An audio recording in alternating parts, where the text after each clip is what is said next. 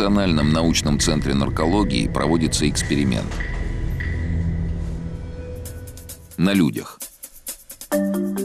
Его участниками не отказались бы стать 90% россиян.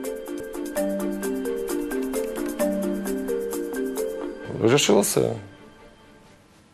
Стало интересно себя обследовать, протестировать. Я читал э, различную литературу, как вот э, дипломаты поступают перед тем, как идти на какой-то раут, где без алкоголя никак не обойтись. Что со мной будет и как вообще мой организм будет вообще реагировать, и как вообще мозг будет ну, реагировать. И, то есть, ну, мне было это интересно. Юлия, Евгений и Михаил. Обычные люди, одни из нас. Пьют, как все. Сегодня им придется пить ради науки под моим контролем и наблюдением. Значит, вы должны э, обо всем рассказывать мне, э, о се, обо всех своих э, изменениях самочувствия, ощущениях.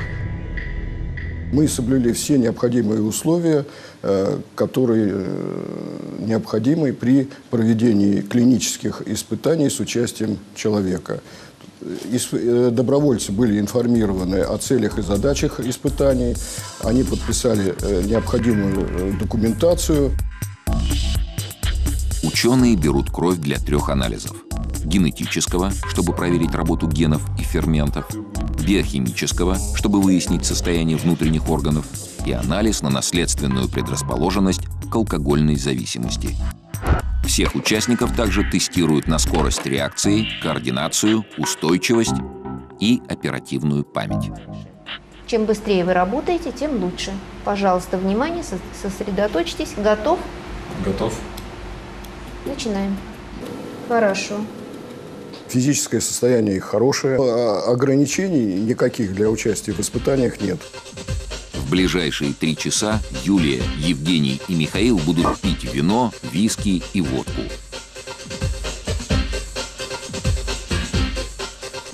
Эксперимент начался. Перед вами кровь среднестатистического горожанина перед употреблением алкоголя. И эта кровь далеко не идеальна.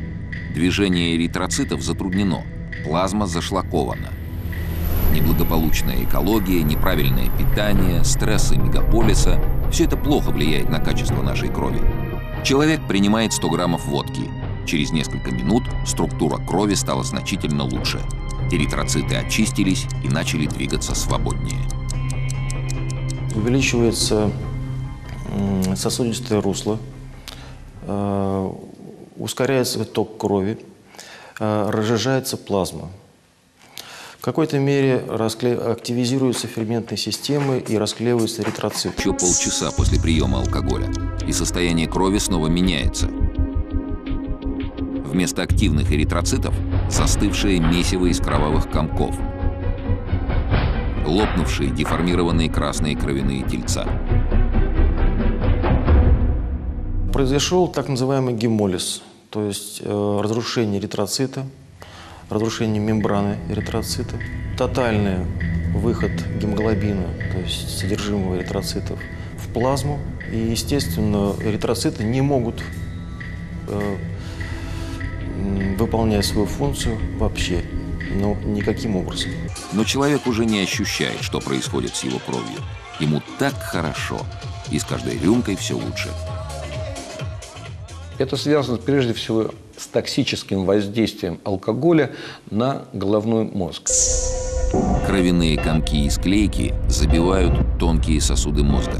Образуются тромбы, которые мешают доставке кислорода. Наступает тромбоз сосудов и гипоксия. Нормальная работа коры головного мозга нарушается, и человек поэтому дуреет. Он дуреет. Не пьянеет, а именно дуреет, понимаете? Существуют тысячи разновидностей спиртных напитков с разным вкусом, запахом, крепостью. А механизм воздействия на мозг и кровь одинаковый для всех, потому что основа у них одна и та же – этиловый спирт.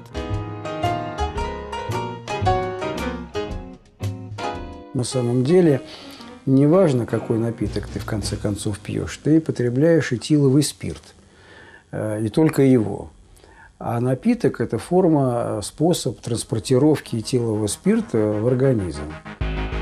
Этиловый спирт или этанол в чистом виде – это яд общепоражающего действия.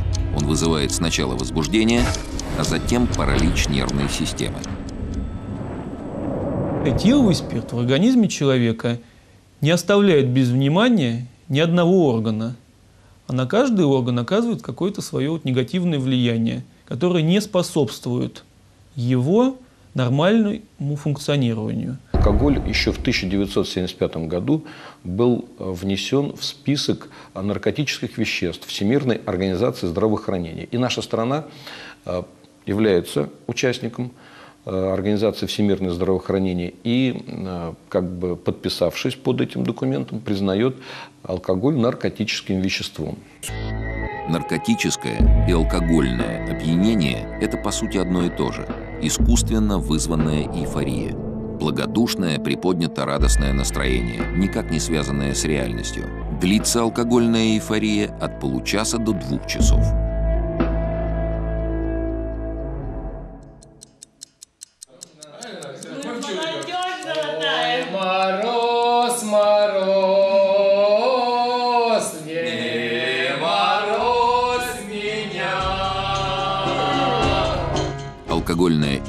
Наступила у всех участников эксперимента. Алкоголь блокирует лобные доли головного мозга, которые отвечают за самокритику и самоконтроль.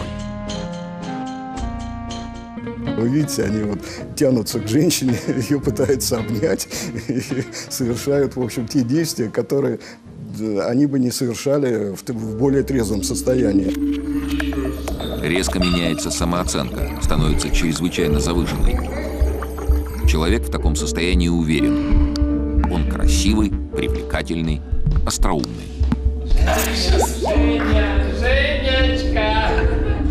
За эйфорию человек расплачивается в первую очередь здоровьем собственного мозга. Эксперимент удался. Длительная гипоксия приводит к тому, что нейроны начинают в массовом порядке отмирать. Эффект алкогольного опьянения возникает за счет э, того, что происходит разрушение клеток головного мозга. И, соответственно, э, вот некое состояние такой э, сравнимый с э, травматическим неким воздействием на головной мозг, ну, как после нокдауна или после нокаута.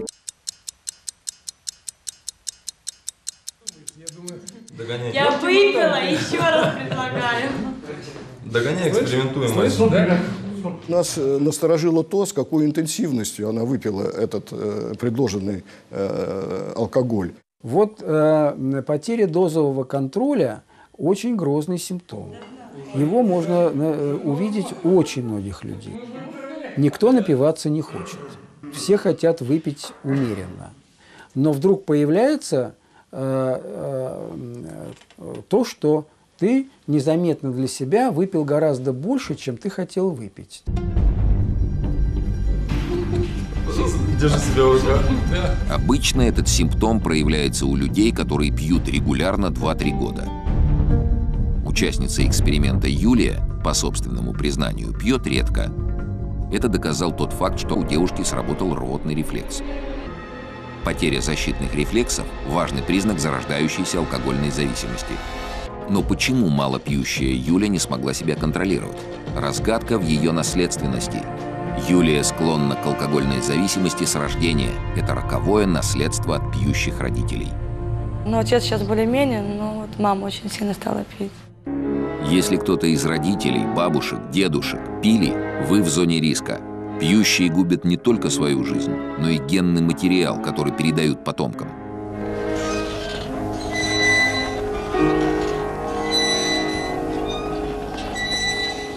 И у нас, э, к сожалению, в силу какой-то как, изменений в генофонде, вот сейчас уже очень большое количество детей рождается с предрасположенностью к, к алкогольной зависимости.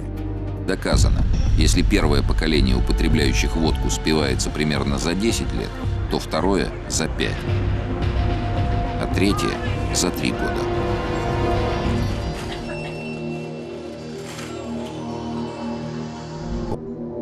Однако это не значит, что виски и коньяк безопасны. Любители этих напитков очень быстро становятся пациентами нейрохирургов и кардиологов. У них за 2-3 года развивается артериальная гипертония, алкогольная болезнь сердца, нейропатия и нарушение мозгового кровообращения. Но на наши гены повлияли не только крепкие напитки. Недавно ученые сделали сенсационное открытие. У россиян был обнаружен так называемый азиатский ген. Этим термином называют целый набор генов, при котором человек плохо переносит или совсем не переносит алкоголь. По сути дела, малейшая доза алкоголя у таких людей вызывает не опьянение, а жесточайшее отравление. Вот почему алкоголем были уничтожены индейцы в Америке. Вот почему алкоголем уничтожены десятки малых народов Сибири, Севера, Дальнего Востока. Распространенность э, э, этих генов российской популяции э, четко отражает наше срединное географическое, промежуточное географическое положение между Азией и Западной Европой. Вот только тип употребления спиртного у нас не промежуточный. Пьем мы гораздо больше жителей Азии и Европы вместе взятых.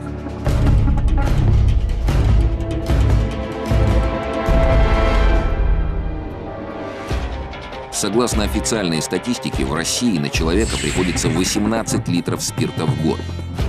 Независимые эксперты утверждают все 30. По данным Всемирной организации здравоохранения, с 8 литров алкоголя на душу населения начинается необратимое угасание этноса. Сегодня в России спивается титульная нация. Титульная нация. Русское население.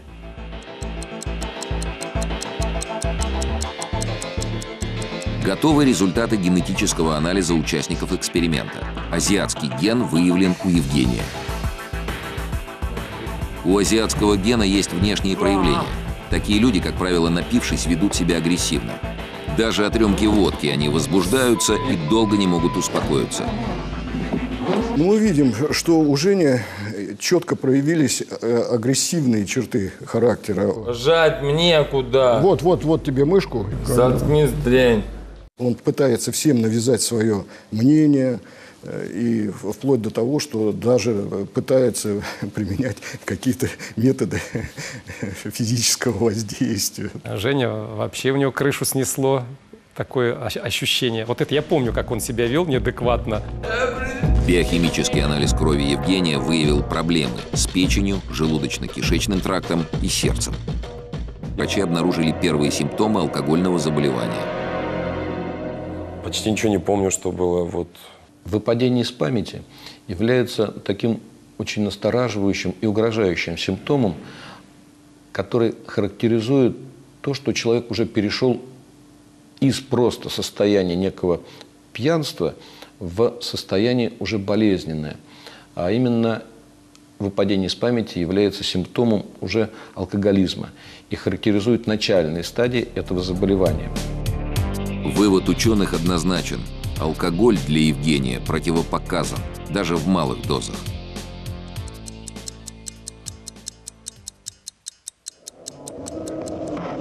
Концентрация алкоголя в крови достигла максимальной отметки. Буйное оживление сменилось тяжелой усталостью, истощением организма. Не могу. Нет, не можешь. Я плохо чувствую. Участники эксперимента больше не пьют, но опьянение нарастает. Профессор, давай дуть в трубку уже. Юля, Евгений и Михаил снова проходят тесты на внимание, на память, на скорость реакции. Результаты тестов э, у всех наших э, подопечных, э, у всех наших испытуемых сугубо отрицательные. Помню, что надо было запомнить несколько ноликов, квадратиков, как они были, в какой последовательности. И я помню, смотрю, и хочется запомнить, и не запоминается. Результаты тестов не пугают, потому что кажутся временными. Протрезвею, и все пройдет. Это главный миф, связанный с алкоголем. Но изменения, вызванные спиртными напитками, являются необратимыми. Так выглядит мозг человека, который систематически пил 10 лет. Врачи называют его мозг сморщенным. Он колоссально уменьшен в объеме. В нем выпадают целые фрагменты. За время нашего эксперимента в головном мозгу Юлии, Евгении и Михаила от алкоголя погибло несколько тысяч нейронов. Во время следующего застолья погибнет еще столько же. А вместе с ними уйдут память, интеллект, эмоции. Погибшие нейроны не восстанавливаются. Участники эксперимента отправились домой, спать. Но эксперимент еще не закончен. Ближайшие сутки самые тяжелые для организма. Ему предстоит переработать ядовитые продукты распада алкоголя. Например, ацетальдегид. Вспомните дух перегара от выпившего человека. Это запах ацетальдегида. Он начинает выделяться уже во рту, как только спиртное соприкасается со слизистой. Больше всего его образуется в печени. Ацетальдегид – это высокотоксичный яд.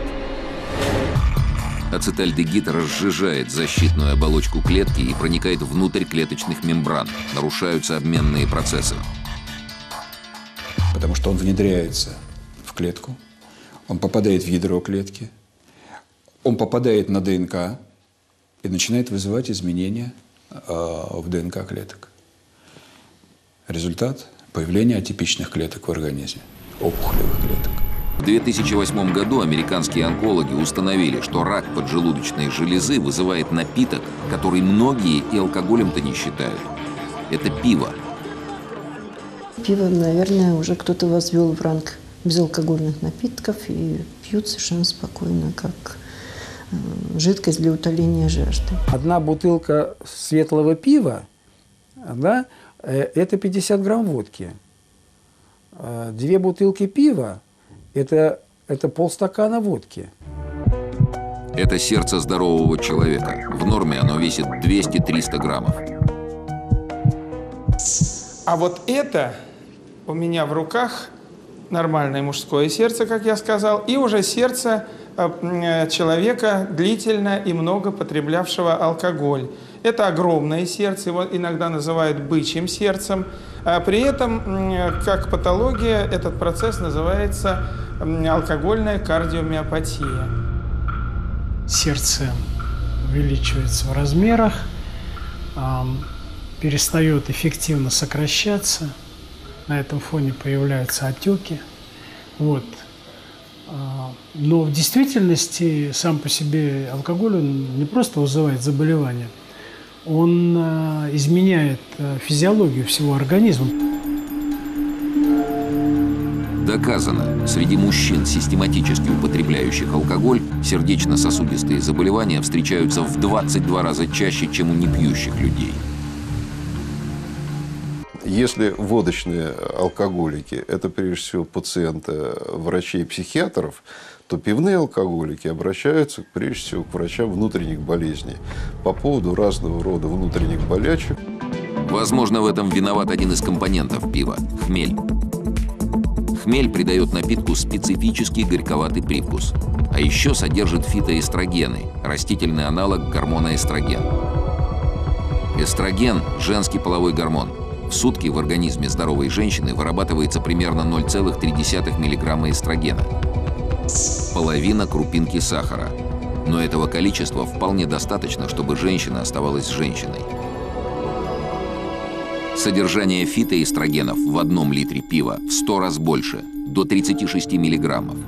От переизбытка этого гормона у женщины начинаются тяжелые эндокринные нарушения, резко меняется поведение. Пиво, по мнению ученых, одна из причин бесплодия.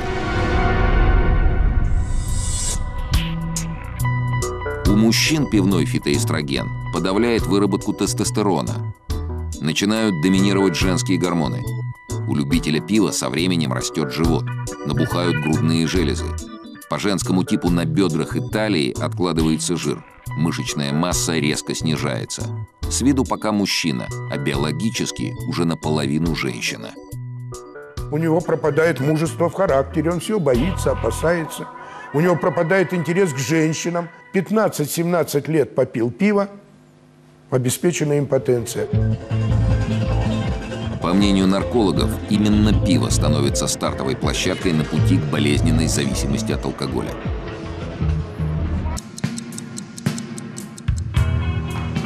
Рано утром испытуемых снова привозят в лабораторию. Дела как самочувствие? На утро в 6 утра я проснулся, сушняк, конечно, во рту. Кефиру, наверное, пол-литра выпил. У меня очень болит горло. Такое ощущение, что я орала, там, или я кричала, я пела. Вот такое ощущение. Ну, что рассказывать? Тяжко мне после вчерашнего. Проснулся, покряхтел, выпил водички литра два с половиной. Головная боль, ломота в суставах и желание пить – следствие алкогольного обезвоживания организма. Чтобы вывести ядовитые продукты распада этилового спирта, печени нужны не только специальные ферменты, но и много воды, поэтому она вытягивает влагу из других органов. Психофизическое состояние человека на утро после употребления спиртного – это состояние больного после тяжелого отравления. Во-первых, повышенная частота сердечных сокращений. Во-вторых, экстрасистолия. В-третьих, повышенное артериальное давление.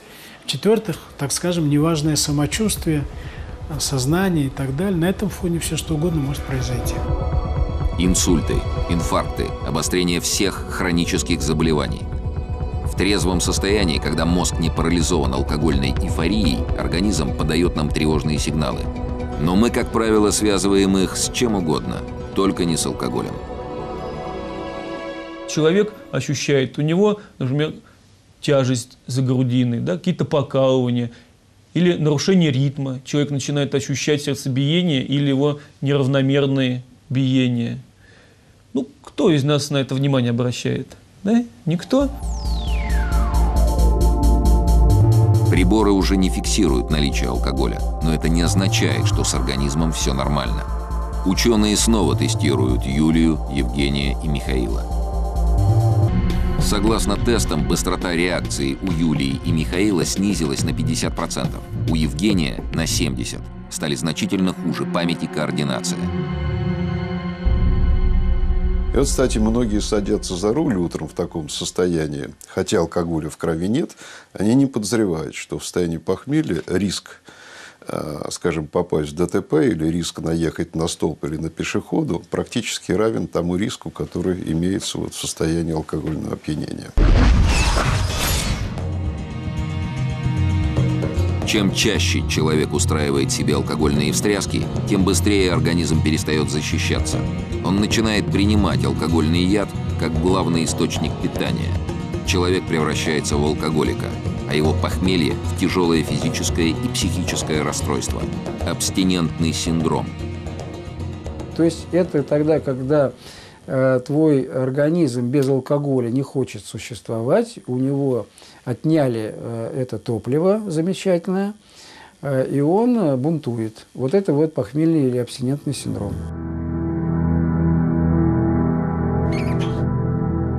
Абстинентный синдром на крысах моделируют в Национальном научном центре наркологии. Животным в качестве единственного источника жидкости дают водку. Спиртное крысы получают каждые 12 часов. Они должны быть постоянно пьяными.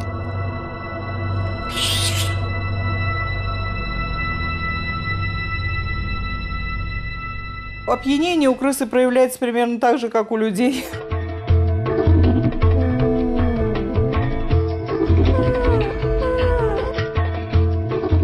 Затем крысам прекращают давать водку.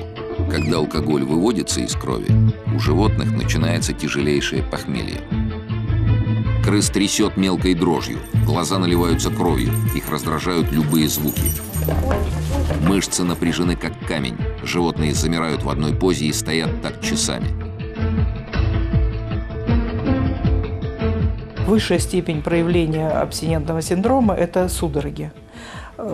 Вот в белой горячке в состоянии тяжелого похмелья у людей они тоже наблюдаются. Это очень тяжелое состояние, и не так легко их вывести человека из этого состояния, и э, при этом иногда может наблюдаться смерть. Также и у крыс. Вывести из состояния абстиненции крыс удается только на седьмые сутки, а иногда не удается вовсе. Из десяти подопытных животных четверо погибли. Безумно э, жаль этих животных, но человека еще жальче, поэтому приходится работать на животных. И мы видим, как они страдают, конечно. А человека жаль многократно больше, потому что заболевание, конечно, очень тяжелое. В бытовом представлении алкоголики – это асоциальные личности, потерявшие человеческий облик. На самом деле современный алкоголик может скрываться за безупречным фасадом, носить хороший костюм, успешно работать. И еще, он очень молод. 33. Это вот такой средний возраст, в котором люди обращаются за помощью к наркологу, имея уже вторую стадию заболевания. Путь от успешного человека до спившегося бомжа значительно короче, чем мы привыкли считать. Чтобы превратиться в такого же, мужчине достаточно пяти, максимум семи лет, женщине 2-3 года.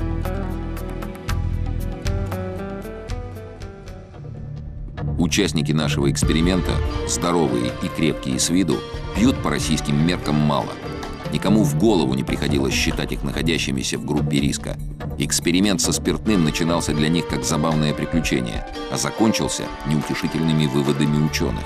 И Евгению, и Юлии, и Михаилу алкоголь из жизни необходимо исключить. Я теперь я понимаю, что вот мне это не нужно и вообще Поэтому я обязательно, я на себя посмотрю, ну, со стороны посмотрю. Я понимаю, мне будет страшно и стыдно, но это нужно сделать, чтобы понять.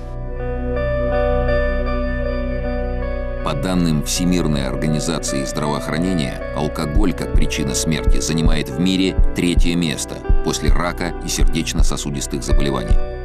Впрочем, и к раку, и к болезням сердца спиртное имеет самое прямое отношение –